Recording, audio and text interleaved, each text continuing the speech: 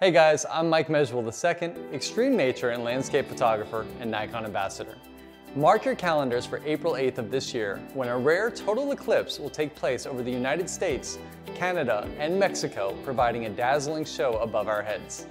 I often find myself photographing some of the most incredible subjects in the sky, whether that's tornadic supercell thunderstorms, historic comets, or colorful northern lights, our sky can put on one heck of a show, and I want to show you how to get the best possible shots. Now, whether you find yourself in the path of complete totality or just outside where you're going to witness a partial eclipse, I want to discuss with you the different camera and lens options that are available for you to create captivating and storytelling images of the eclipse. There are a few pieces of equipment that you will need to consider for your eclipse photography. Let's first start with your camera body. For this eclipse, I'll be utilizing the Nikon Z8 to capture my imagery. This is a full frame mirrorless camera, but I highly recommend any camera body that allows you to use interchangeable lenses. You could also use a point and shoot camera that has a zoom lens built into it, such as the Coolpix P950 and P1000. That being said, your lens choice is by far your most important decision for capturing this event.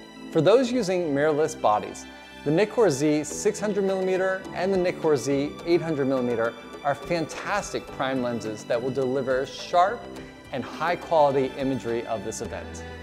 Now if you're looking for a bit more versatility, the new Nikkor Z 180 to 600mm lens is a great option that will allow you to zoom in and out for varying compositions during the eclipse. If you're on a crop sensor, the 50 to 250mm or the 70 to 180 millimeter lenses would be my go-to choices for this event. Another great option is the 24 to 200 millimeter lens. You can also combine a teleconverter with many of these lenses to give yourself an even closer look at the eclipse. Just check the manual for the lens you own to see if yours is compatible. And if you are utilizing an F-mount lens, but shooting on a mirrorless body, the FTZ2 adapter is an excellent way to combine the two. For Nikon DSLR shooters, there are three great lens options that I recommend. These lenses are the 500mm, the 200 to 500mm, and for the DX shooters, a 70 to 300mm lens. Full frame camera owners can also use a DX crop to get a 1.5 times closer field of view with any lens they're using. Now, not all solar eclipse shots need to be super tight zoomed in shots. In fact, some of my favorite past total eclipse shots have been shot a little bit wider where they encompass some of the landscape or perhaps a silhouette to give some drama to the scene. For these moments, I choose to go with the Nikkor Z 14 to 24 millimeter or the Nikkor Z 24 to 120 millimeter.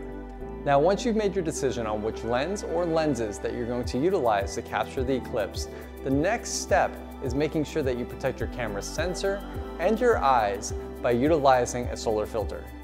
There are a variety of solar filter options available, I prefer using a 16 or 18 stop solar filter or creating my own by using Astro Solar Safety Film. Regardless of your method, you absolutely need to make sure to have a solar filter on your camera lens while photographing any portion of the eclipse that is not totality. Finally, you want to utilize a remote trigger to trigger your camera shutter. This can be a cabled remote, but for Nikon shooters, I recommend a wireless remote such as the Nikon ML-L7. You can also connect your camera with the easy to use and free SnapBridge app and control your camera that way. This will help reduce any chance of accidentally pulling on your camera while shooting. Alright, your first step in capturing amazing eclipse images is being prepared with the correct gear. I hope this video helps get your creative juices flowing and stay tuned for additional videos where we're going to cover settings and compositional ideas to incorporate into your eclipse images.